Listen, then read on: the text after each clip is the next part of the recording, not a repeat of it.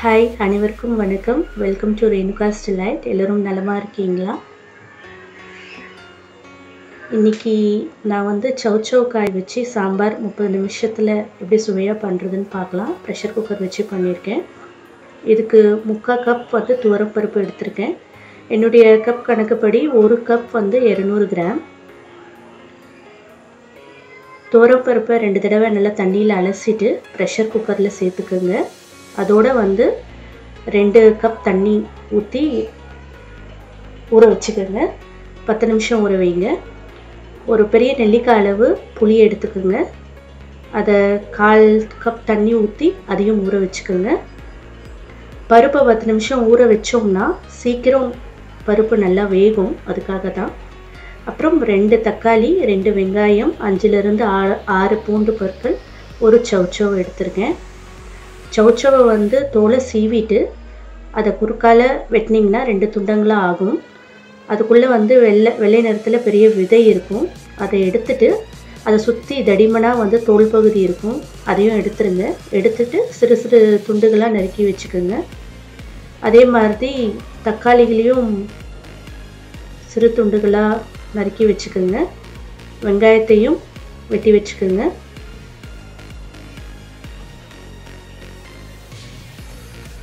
அப்புறம் ஒரு காஞ்ச மிளகாய் கொஞ்சம் கருவேப்பிலை கொஞ்சம் கொத்தமல்லி எடுத்து வச்சுக்கோங்க. பத்து நிமிஷம் கழித்து அந்த ஊற வச்ச துவரம் பருப்பில் கால் டீஸ்பூன் எண்ணெய் சேர்த்துக்குங்க. பூண்டு பருக்கில் சேர்த்துக்குங்க. நறுக்கிய வெங்காயம்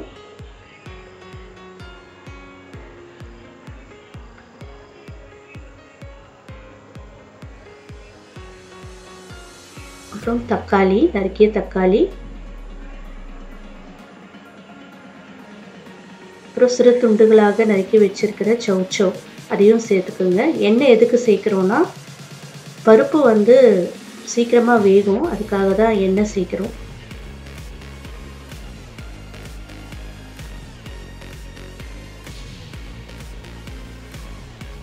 இதோட வந்து கால் டீஸ்பூன் மஞ்சள் தூள். கால் டீஸ்பூன் பெருங்காயம் தூள் ரெண்டு டீஸ்பூன் சாம்பார் மிளகாய்த்தூள் இந்த மிளகாய்த்தூள் வந்து நான் ரெண்டு டீஸ்பூன் சேர்த்துருக்கேன். நீங்கள் உங்கள் காரத்துக்கு ஏற்ப குட்டியோ குறைச்சியோ சேர்த்துக்கலாம். அப்புறம் ஒரு ஸ்பூனை வச்சு லேசாக அதை கலந்து விட்டுருங்க அந்த தண்ணியில். எல்லாம் மிக்ஸ் ஆகிற மாதிரி. அப்புறம் ப்ரெஷர் குக்கர் மூடியை போட்டு மூடி அடுப்பை ஸ்விட்ச் ஆன் பண்ணிவிடுங்க என்னுடைய குக்கர் வந்து மூணு லிட்டர் குக்கர் மொத்தம் ஏழு விசில் தேவைப்படுது.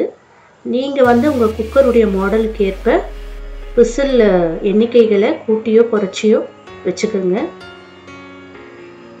ஏழு விசில் வந்ததுக்கப்புறம் நான் வந்து அடுப்பை சுவிட்ச் ஆஃப் பண்ணிட்டேன். சுவிட்ச் ஆஃப் பண்ண உடனே குக்கரை திறக்காதீங்க. அஞ்சு நிமிஷம் அதுக்கு வந்து ரெஸ்டிங் டைம் கொடுங்க. அந்த ஸ்டீம் தானாக அதுவே செட்டில் ஆகட்டும். அஞ்சு நிமிஷம் கழித்து குக்கர் மூடியை ஓப்பன் பண்ணிங்கன்னா பருப்பு நல்லா வெந்திருக்கு. ஒரு கரண்டியை வச்சு லேசாக பருப்பை மசிச்சு விட்டுக்குங்க.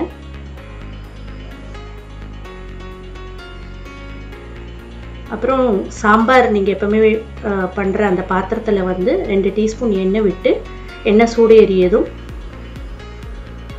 காஞ்ச மிளகாய் அரை டீஸ்பூன் கடுகு அரை டீஸ்பூன் உளுந்தப்பருப்பு கால் டீஸ்பூன் வெந்தயம். அப்புறம் கருவேப்பிலை சேர்த்து தாளிச்சுக்கோங்க.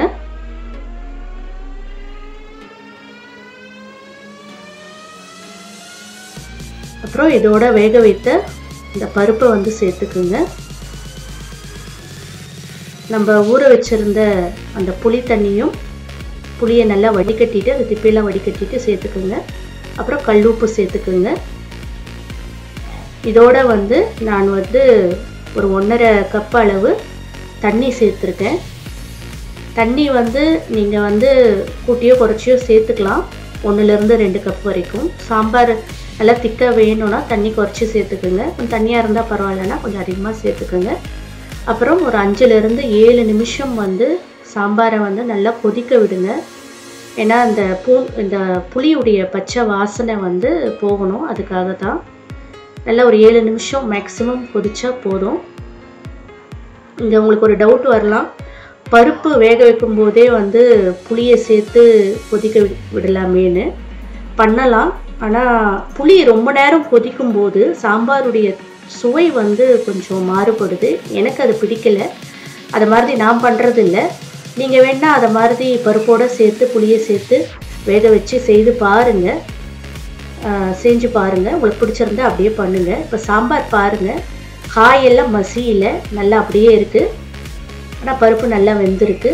ஸோ முப்பது நிமிடத்தில் வந்து சுவையான சோச்சோ சாம்பார் தயாராகிடுச்சு கடைசியாக வந்து கொத்தமல்லி சேர்த்துக்கோங்க.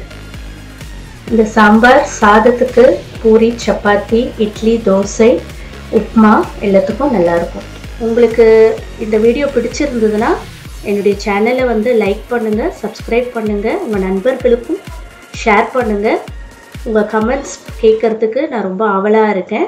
இவ்வளோ நேரம் வந்து என்னுடைய வீடியோ வாட்ச் பண்ணதுக்கு மிக்க நன்றி.